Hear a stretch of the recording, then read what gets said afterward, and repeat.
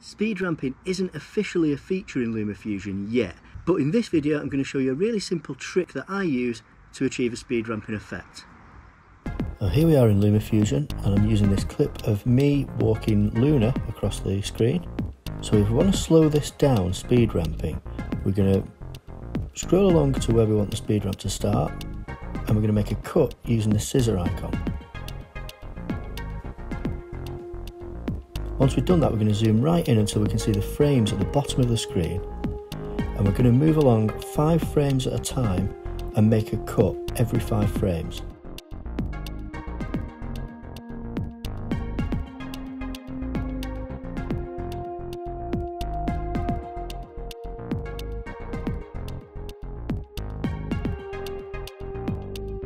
Once we've done that, we're going to double tap on that first clip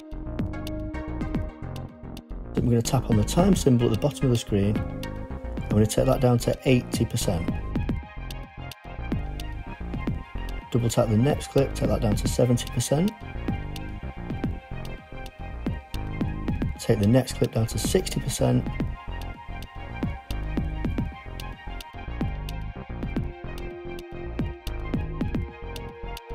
And then finally, take the last clip down to 50% half speed.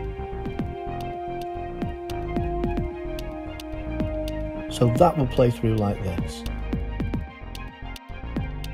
So it quickly ramps down to that half speed instead of just jumping straight into it. Okay, let's do one where we speed up. So I'm going to use this drone footage that we shot at sunset in Cheshire.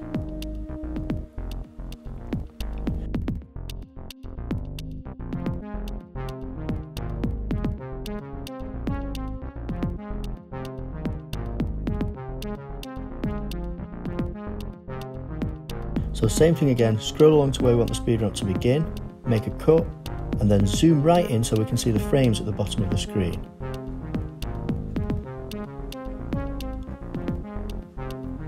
And once again we're going to move along 5 frames at a time and make a cut every 5 frames.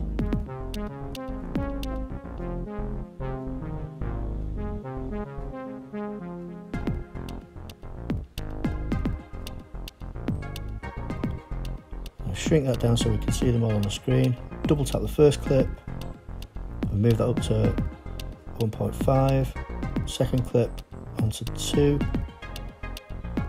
Third clip onto 2.5. Next clip onto 3. Next clip onto 3.5 and you can see the clips are getting much smaller now as we're increasing the speed. Next clip onto 4 and finally the last clip onto 4.5 speed.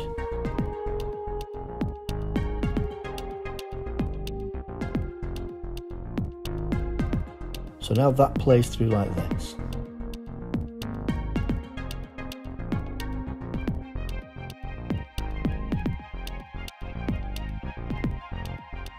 And that's it. If you found this video useful, give it a like and don't forget to subscribe to the channel so you don't miss any of our future videos. Thanks so much for watching. See you next time.